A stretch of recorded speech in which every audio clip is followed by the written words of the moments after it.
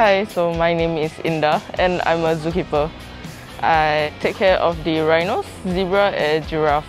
I grew up basically visiting the zoo and I started loving what the zoo stood for. To be able to work in this place, in a place where especially kids can learn about conservation and appreciate wildlife, is amazing. So I studied film for five years. It was always because of all the nature documentaries that I've watched that I fell in love with filmmaking. Now that I actually decided to be a zookeeper, I get to combine two of the things that I love, which is filmmaking and taking care of the animals. Now I can kind of do my own nature documentaries as well. You can see I work with like the big animals, right?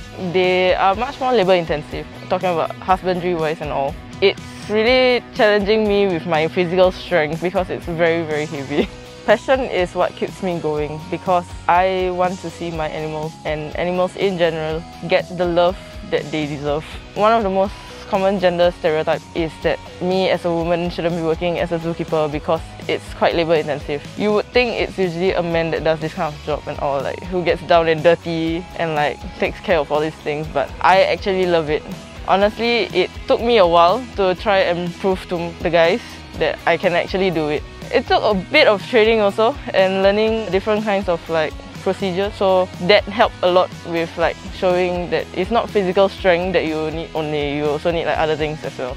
International Women's Day means celebrating women and the power we hold, being proud of our achievements and working towards equality. Sky is the limit. We can do what we want to do and be who we want to be.